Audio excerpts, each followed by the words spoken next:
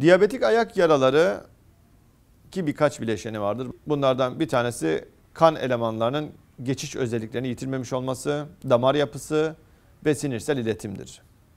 Diyabetik ayak yaralarının neredeyse tamamı çok ciddi kilo problemi olmayan bireylerde ortaya çıkar.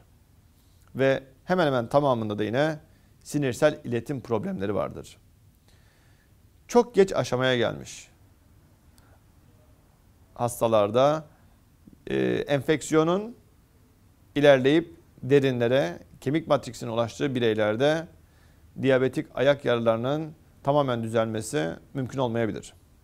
Ancak çok geç aşamaya gelmemiş, kemiğin ciddi oranda etkilenmediği bireylerde zaman içinde diyabetik ayak yaralarında muhakkak bir toparlanma olacaktır.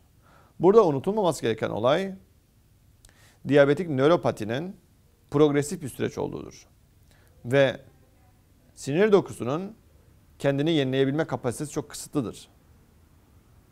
Artı en azından hastalık progresyonunun ilerlemesinin durması için 1,5-2 yıl normal bir kan şekeri düzeyine ihtiyaç duymaktadır. Zaman alacaktır ama hastalık sürecinde muhakkak ki bir iyileşme görülecektir.